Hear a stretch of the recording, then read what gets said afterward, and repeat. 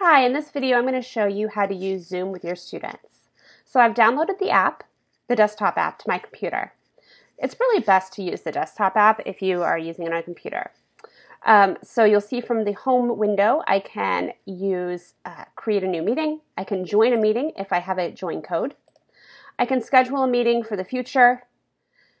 And I can also share my screen.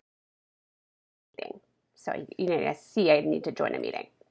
You'll also see that I can chat, so I can find people here in our school district with to chat. Um, so that would just be a text type chat.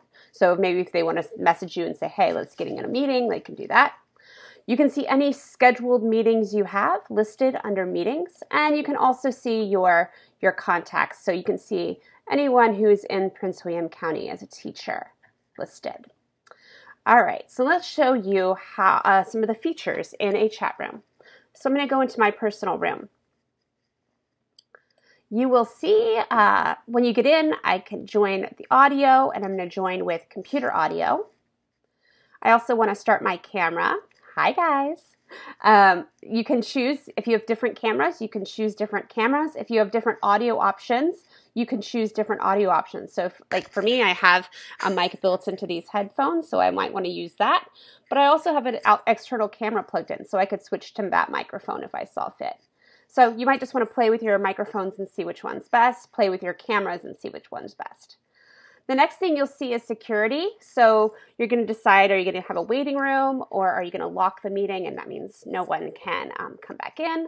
Um, also, what when you uh, allow participants, do you want them to be able to share their screen? Do you want them to be able to chat? And do you want them to be able to unmute themselves? So if you want to keep everyone quiet, you could just unmute them, check, un, un, uncheck, unmute themselves, and they won't be able to unmute themselves.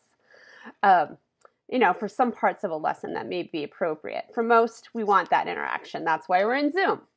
Um, if you would want to stop the chat, you could undo that, and then they could stop the little side chat. Um, and then, of course, keep share screen unchecked unless you are actually having students share their screen. The next one is participants. You'll be able to see a list of participants that are in the room.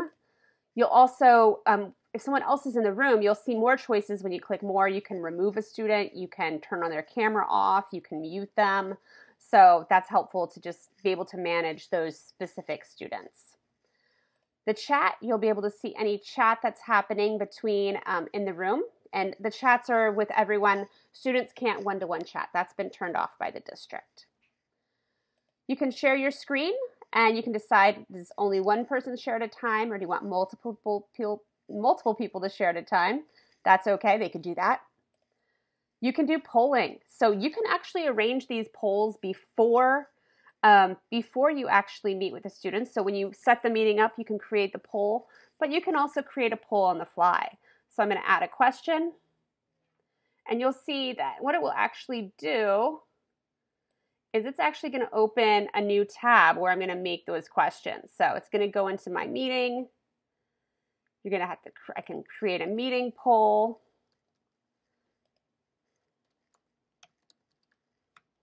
Uh, do you like cheese? Yes. No. You have to have at least two answers. The only types of questions you can have are single choice or multiple choice.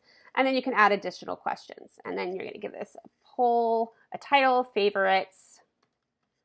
Uh, I'm going to delete this question. I'm just going to have a single question and I'll save. And then you'll see that now the poll is here and I can launch the poll and then it will show up on every student screen.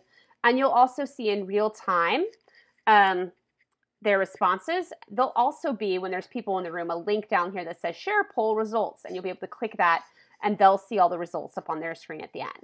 And then when you're done with the poll, you just say end poll. So the polling feature is really great. You know, entrance ticket, exit ticket, that's a great thing to do. There's that share results thing.